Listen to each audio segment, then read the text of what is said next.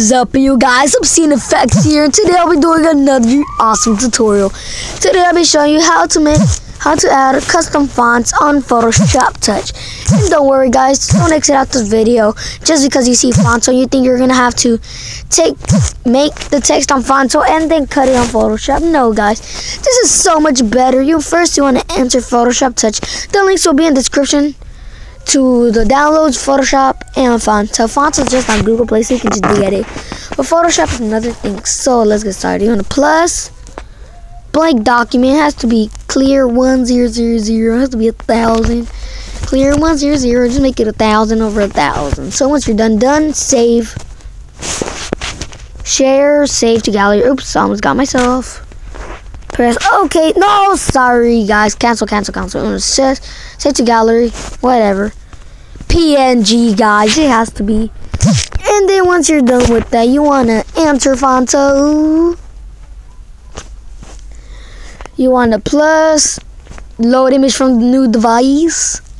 Recent. You want to go to images. Adobe Photoshoppy. Click it. And there you go. It's right here. Just invisible. Oh, never mind. Oh, yeah. Now press the check thingy. Add the text. Like, um, how.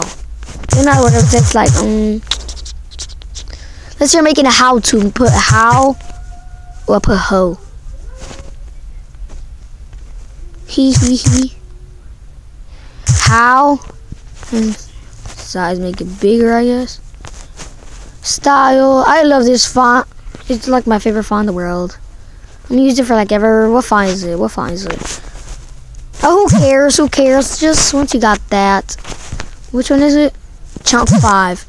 Press save, processing, go back to Photoshop. You're going to type everything there first. But you always got to keep that transparent black image, the one that you just saved in your gallery. Don't never delete it. Then once you're ready, you want to go back to Photoshop. So you're making a thumbnail. Um, let's go on a random thumbnail. Clear 1600. This is also the what you have to do to make the thumbnail. Oopsie 900. Now once you're done, plus, and fill stroke, whatever color, blue, and gradient, who cares? Plus, for the library text, you can go to Fonto and you'll be seeing everything. Like, how, eh.